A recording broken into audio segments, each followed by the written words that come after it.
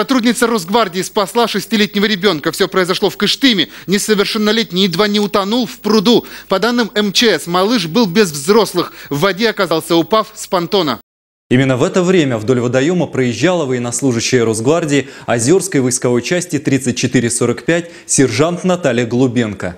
Женщина, заметив утопающего ребенка, не раздумывая бросила машину на обочине и кинулась в воду. Благодаря хорошей физической подготовке она мгновенно доплыла до уже скрывшегося под водой ребенка, вытащив его на берег. Все закончилось благополучно. Женщина успокоила ребенка и отвезла его домой.